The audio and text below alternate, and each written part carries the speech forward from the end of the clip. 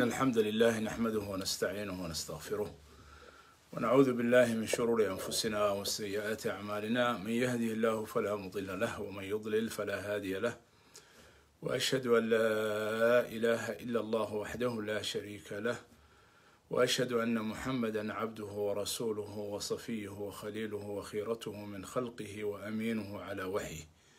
بلغ الرسالة وأدى الأمانة ونصح الأمة. وجاهد في الله حق جهاده حتى أتاه اليقين. اللهم صل وسلم وبارك على نبينا محمد وعلى آله وصحبه ومن اهتدى بهديه وتمسك بسنته إلى يوم الدين. أما بعد walaalayaal meel kastoo aad joogtaan waxaan naftayda iyo ehelka iyo asxaabta iyo ummadda muslimka ah dhan قارهان ومدى الصوماليات وتعزيينية غيري دي نحدين تلاهيد إيه، مانتا كوتيمي. ولال كان صاحب كان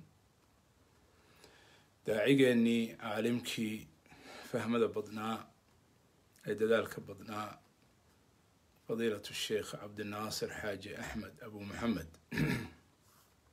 إلهي سبحانه وتعالى وحان غبريا إنو u aqbalo oo ka dhigo kuwa shuhadada ah ee ilaahay subxaanahu wa tacaala diintiisa darteed loo dilay inay kor yeelaan.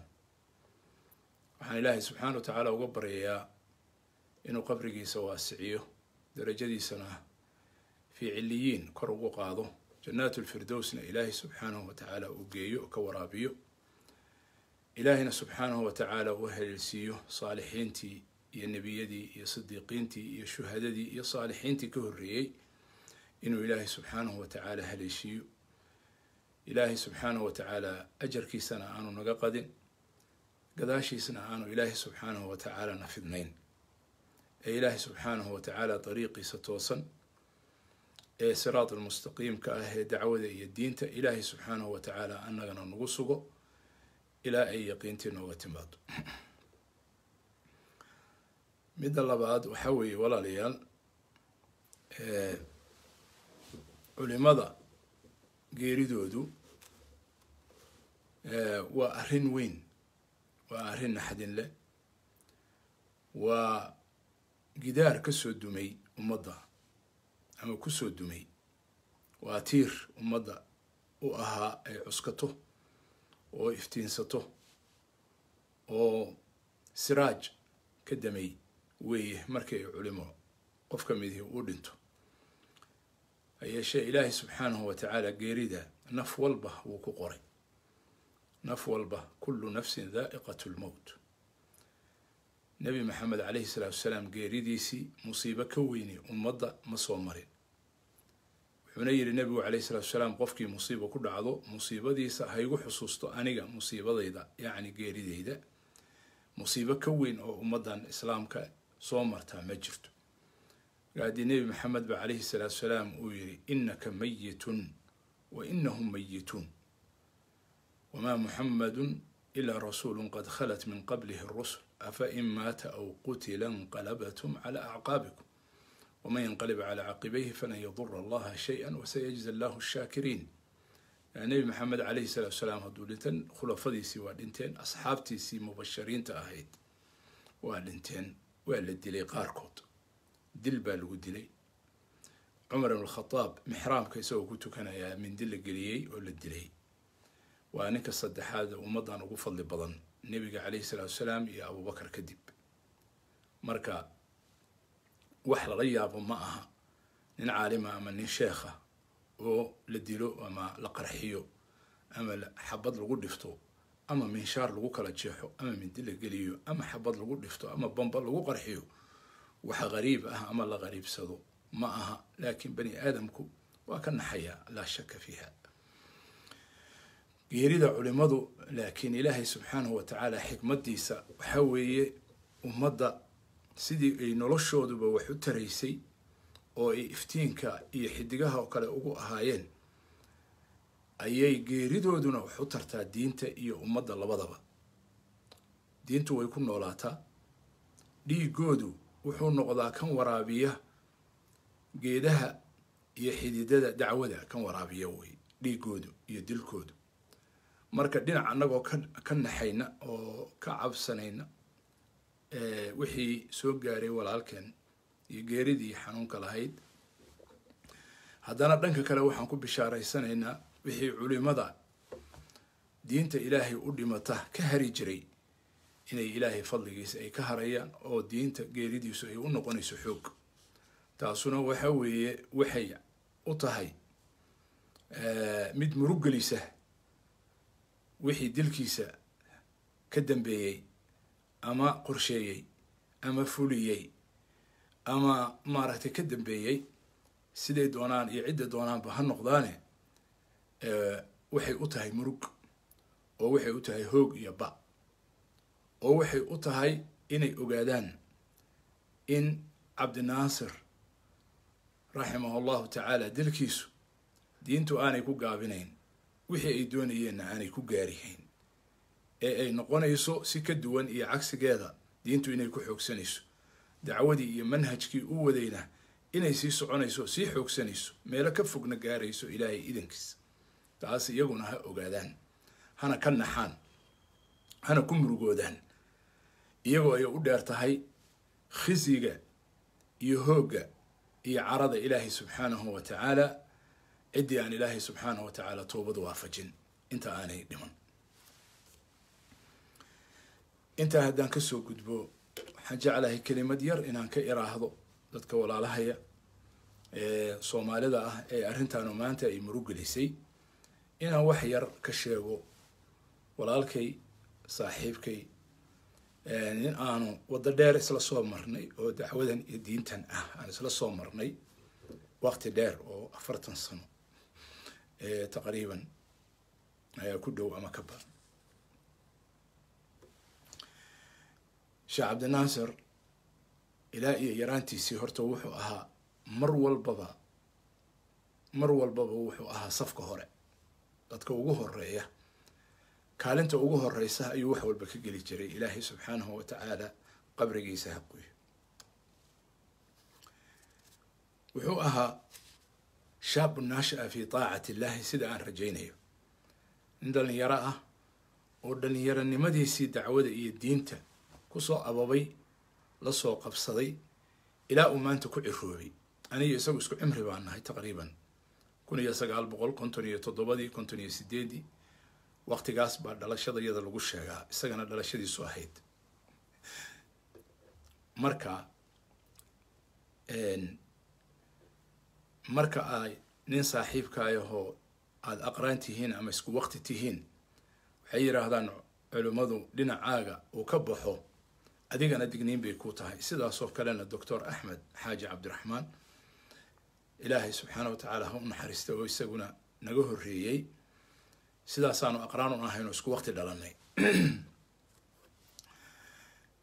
Waxaan ilaahay subxaanahu wa tacaala ka baryayaa siduu ilaahay subxaanahu wa tacaala adduunyada dacwadeeda iyo diinta iyo ka shaqaynteeda iyo fidinteeda ilaahay subxaanahu wa tacaala saaxiibo iyo walaalo noogaga dhigay inuu ilaahay subxaanahu wa tacaala aakhirana ugu kulmiyo fi jannaati naciim sheekh cabdinaasir marka dhalinyaronimadiisii wuxuu ahaa nin faris ah oo safka hore ah mar walba dadaalka iyo waxbarashada mid hoose mid dhexe mid sare mid jaamacadeed mid kulliyadeed. Isagoo yar oo dhalinyaro ah ayuu dacwada iyo xalaqaadka la soo qabsaday iyo diinta fidinteeda. Isagoo dhalinyaro ah oo arday ah buu wax akrin jiray. Isagoo arday ah magaalada burco magaalada muqdisho iyo meelihii kaleeto oo u maray. Sidaasoo kaleeto markii uu kulliyadda caskariga ah ee akademiyada caskariga ah ee jalesiyaad la yiraahdo uu ku biiray lixdameeyada ee todobaataniyada horaankeedii markii kulliyadda la furay dufcooyinkii ugu horreeyey ama wuxuu ahaa raggii ugu horreeyey oo kulliyadda lagu bilaabay.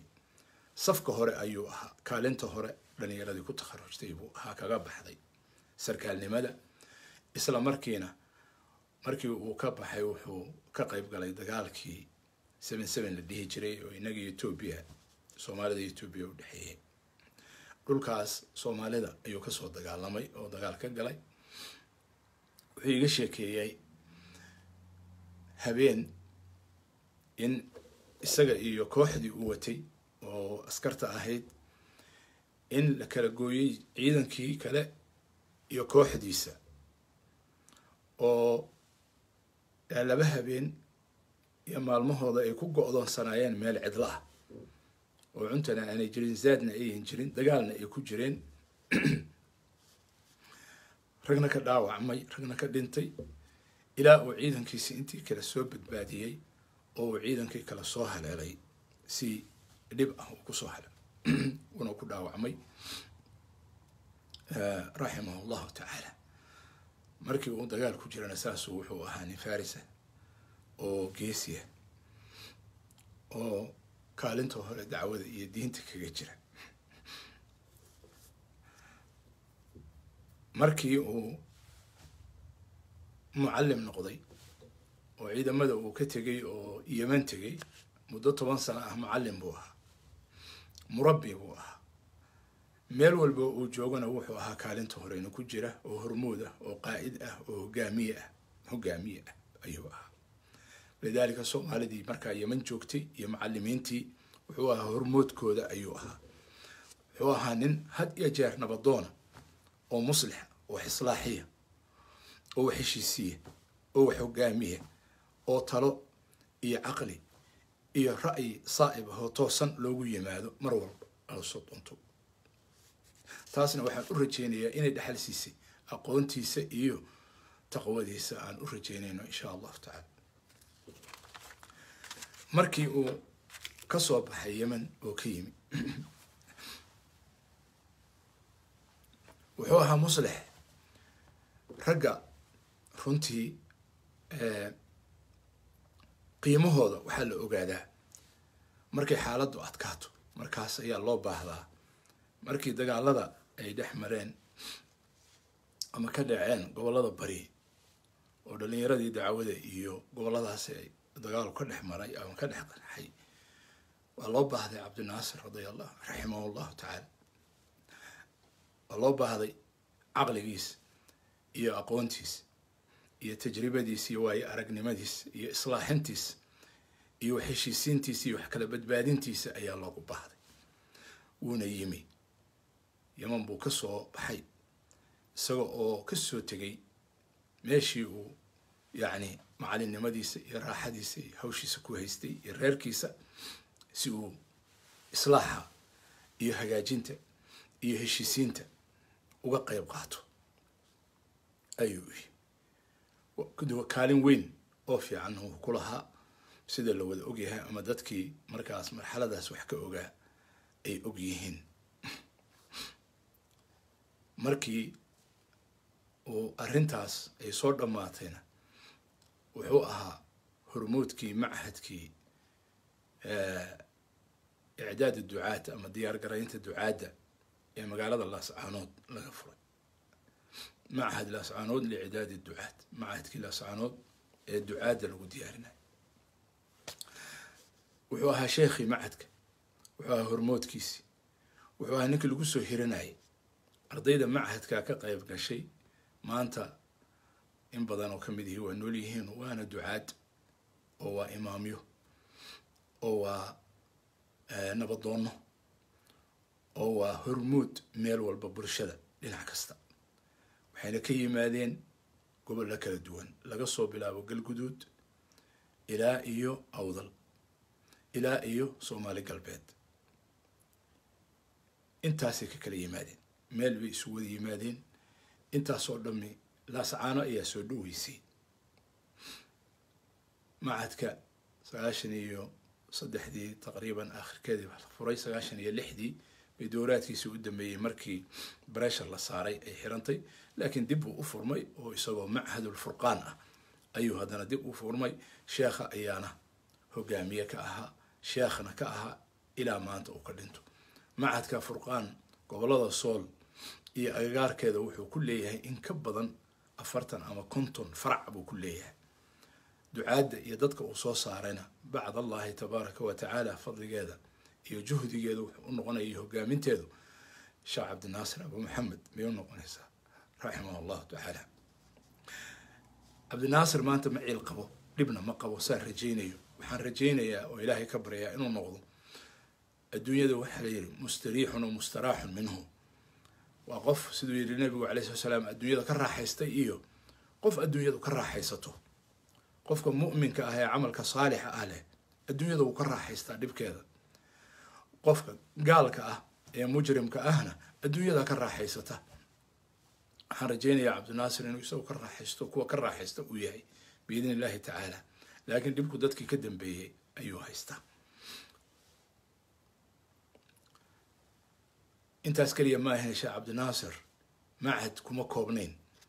Magaalada laascaanood iyo gobolka sool gaar ahaan iyo waqooyiga iyo bariga gaar ahaan guud ahaan iyo soomaaliya oo dhan maanta oo uu ku dhintay kismaayo oo cirifka kale ah.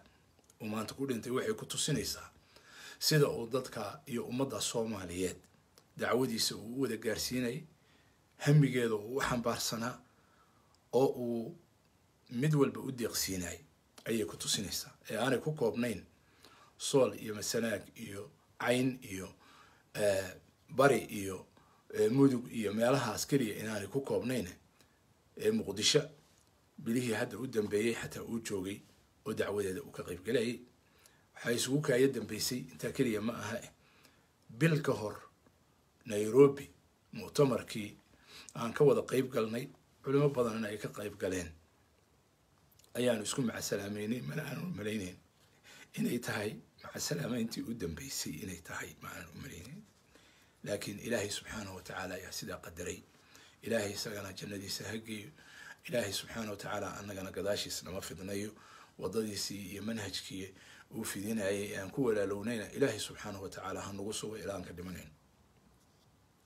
Sheekh cabdinaasir wuxuu ahaa daaci wuxuu ahaa waayo arag wuxuu ahaa nin khibrad leh oo sarkaala. Cilmi adduun iyo cilmi aakhiro labadaba cilmi diineed iyo cilmi adduunya labadaba yaqaan. Waxyaalihii aan ka aqaanay sheekh cabdinaasir haddaan wax yar ka tilmaamo xagga aqoonta iyo cilmiga cabdinaasir wuxuu ahaa nin cilmiga aada ugu dadaala had iyo jeer kitaabka wata.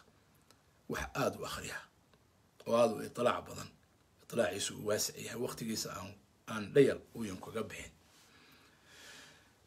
wuxuu nin tajribo badan oo waayo aragnimo badan. Wadaad keliya ma ahayn mufti keliyana ma ahayn. Ee wuxuu ahaa nin nolosha waxyaalo badan ka arkay oo dhinacyo badan waayo aragnimadeeda ka arkay ayuu ahaa raximah allahu tacaala. Sheekh cabdinaasir wuxuu ahaa nin zaahida intaan ka aqaanay oo adduunyada iska ururin badan oo aanay qiimalo lah lacagteeda iyo xoolaheeda iyo dhaldhalaalkeeda mid aan indhaha la raacin buu ahaa wuu soo maray wax badan wuu arkay wuu shaqeeyey. Laakiin marna adduunya ma jiidan cabdinaasir intii aan ka aqaanay waxaan garanayaa meela lacago badan loogu dhiibay oo gacanta laga saaray oo uu iska wareejinayo uu iska fogeynayo ayaan aqaan. Sheekh cabdinaasir wuxuu ahaa nin caabida intaan ka aqaanay ilaahay subxaanahu wa tacaala u aqbalo ilaahay baana xisaabinaya waxaan xusuustaa annagoo xajka joogna oo magaalada mina mina ku sugan oo hal teendho wada jiifna oo cidina aanay noo dhexayn. Habeenkii dhowr jeer buu kacay wuu istaagaa wuu tukadaa. Haddana wuu seexdaa. Saacad intaanu jiifin buu haddana soo kaca waxaad moodaa in yacni kuwii ilaahay subxaanahu wa tacaala uu yiri tatajaafa junuubuhum can ilmadaajic yacni dadka dhinacooda ay dhinacooda uu gogosha diidayo oo aan ku ku jiifi karin waqti dheer.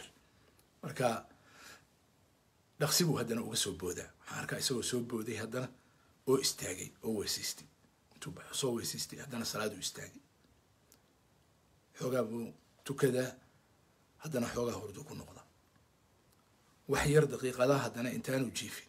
Haddana waa soo kaca. Waxaan ka tiriyey ilaa saddex afar jeer oo uu soo kacay oo uu salaadu istaagay. Ilaa markii ugu dambeysay salaada fajar ka hor uu markaa cabaar soo jeeda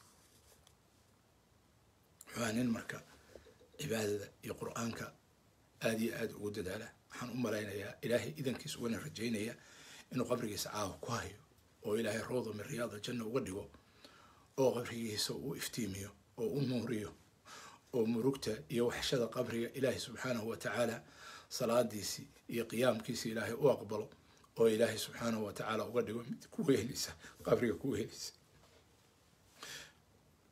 Sheekh cabdinaasir waxaa nin geesiya oo mawaaqifta markii la joogo ama talada ama ra'yi shirar badan arrimo badan oo laga arrinsanayo qabaa'il la heshiisiinayo dad la heshiisiinayo la islaaxinayo mawaaqif badan oo dacwada ah ayaan ka wada qeyb galan oo aan ogahay mawaaqiftiisa.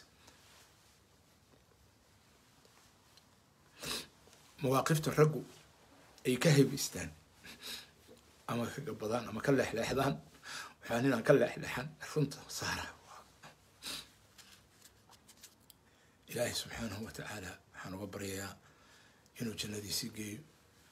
Waxaan u sheegayaa saaxiibadiisa iyo culimada diinta iyo dadkii manhajkiisa ku socdayba inay raayadiisii iyo waddadiisii uu ku dhintay oo raggii ka horreeyey lagu dilay sheekh cabdulqaadir nuur faarax doctor axmed xaaji cabdiraxmaan ka xusuusano raggii hadda waqtiga dhow ama sanadahan dambe gacanta ka xaq daran ee muslimka gumaadaysa ee masaajidada iridooda ku sugaysa.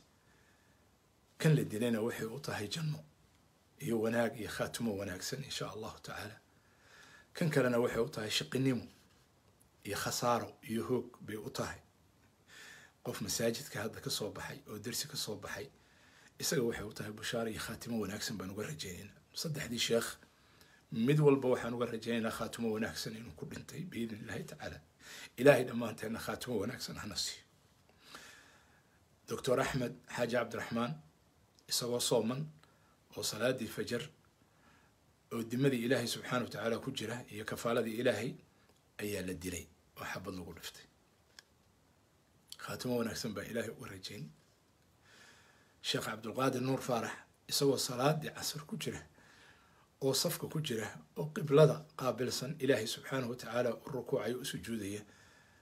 Baa dadkaas ama gacantaas khaasirada ahe shaqiyada ee shaqinimada iyo khasaarada iyo qadriga iyo gaadmada iyo fulaynimada kasbatay. Ya jaahiliyadii waxay ka xishoon jireen jaahiliyadii waagii jaahiliyada iyo ummadihii xataa aan diinta waxay ka xishoon jireen qofka inay gaadaan qofka inay gaadaan waxay uga imaan jireen hortiisay ka imaan jireen. Waxay u arki jireen inay tahay dullinimo iyo nacasnimo iyo raganimo xumo. Qofka inaad qaabili weydo oo hortiisa ka imaan kari weydo.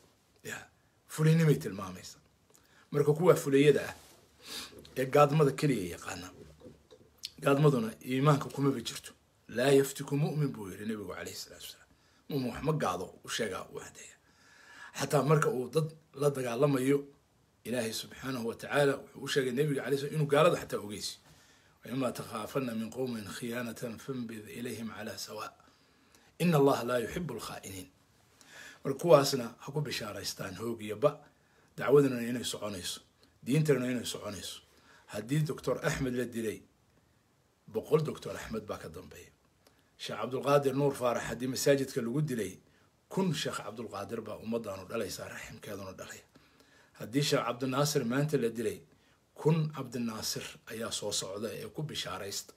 Dacwadan iyo diintanana way soconaysaa aafaaq badan bay gaaraysa ummadda soomaaliyeed waxaan leeyahay kelimad yar. War ummad yahay. Waxa inagu dhacaya waa cuquubo. Waxa dalkeenna ka dhacaya waa cuquubo. Aynu kasbanay wey cuquubo aynu kasbanay wey dhiigga daadanaya shalay waa beled weyne doraad waa xamar. Maalintii ka horreysay waa kismaayo. Maanta waa kismaayo. Doraad waa boosaaso maalinba meel ka dhacaysa. Waa haddaynu garan weyno waxa kanu inay tahay yacni musiibo iyo cuquubona haysata. Dhammaanteenba oo cara ilaahay subxaanahu wa tacaala ka timi macsi iyo dembi aynu kasbanay iyo waxa aynu qooshanayno macaasi inay tahay haddaynu garan weyno waa nacasnimo. Waxaan ummadda soomaaliyeed ugu baaqayaa inay hurdada ka kacdo diinteeda ilaashato difaacato. Kitaabka ilaahay iyo sunnada nebigiisa caleyhi salaatu wasalaam qabsato culimadeeda garab istaagto oo dhinac istaagto la safato. Cadowga iska dhiciso mid gudaha ku jira iyo mid dibadda ka jiraba. Cadowga u diidan nolosha cadowga u diidan nabadda cadowga u diidan xasiloonida cadowga u diidan dowladnimada cadowga u diidan nidaamka iyo kala dambeynta. Cadow kasta ama ha lahaado midab soomaaliyeed iyo magac soomaaliyeed ha lahaado ama mid kaleeto oo ka duwan ha ahaado waa isku mid. Inay meel uga soo wada jeesato oo ilaahay u toobad keento oo diinteeda iyo culimadeeda iyo sharafteeda ay difaacato. Taasna waxaan ugu baaqayaa ummadda soomaaliyeed. Waxaan leeyahay ummad yahay isdaba qabo. Ummad yahay isdaba qabo. Ummad yahay xaaladaanu xaalad lagu jiri karo ma aha. Xaalad socon karta ma aha. Waa laynoo digay oo waa laynoo digay oo waa laynoo digay. Laakiin waxaad moodaa dhagaheennu inay weli culus yihiin walaalayaal ilaahay subxaanahu watacaala waxaan ka baryayaa inuu ummaddan ku baraarujiyo waxa khayrka waa adduuniya aakhiraba. Culimadana ilaahay subxaanahu watacaala ku sugo khayrka iyo wanaagga iyo dacwada iyo diinta iyo manhajka xaqa ah. Inay ku taagnaadaan oo ummadda u caddeeyaan latubayinunahu linnaasi walaa taktumuunahu. Ilaahay subxaanahu watacaala taasna ha ku sugo taas ayaa u ah cadowga ummadda gumaadaya ee culimada laynaya hal doorka ummadda ka laynaya indhaha ka ridaya taas ayaa hoog iyo khasaaro iyo ciilgelin u ah. Insha allahu tacaala ilaahay towfiiqdiisa hana waafajiyo. Rabbina subxaanahu watacaala walaalka sheekh cabdinaasir xaaji axmed abu maxamed allahu naxariisto caruurtiisii iyo xaasaskiisii iyo duriyadiisiina samir iyo iimaan ilaahay subxaanahu watacaala ha ka siiyo qalbigooda alla ha qaboojiyo samir iyo iimaan ilaahay subxaanahu watacaala qalbigooda ha geliyo. Ilaahayna subxaanahu watacaala dhaawacaas gaaray ee naxadintaas ilaahay subxaanahu watacaala ha u fududeeyo. Rabbina subxaanahu watacaala ummadda bedel kheyr qaba. Ilaahay subxaanahu watacaala ha siiyo. Dhammaanteenna ilaahay subxaanahu watacaala gadaashiis nama fidnayo ajarkiisana nagama qadiyo. Intaas ayaan jeclaystay aan ku daro tacsidaas ummadda maanta u taalay sala allahu calaa nabiyina muxamedin wacala aalihi wa saxbihi ajmaciin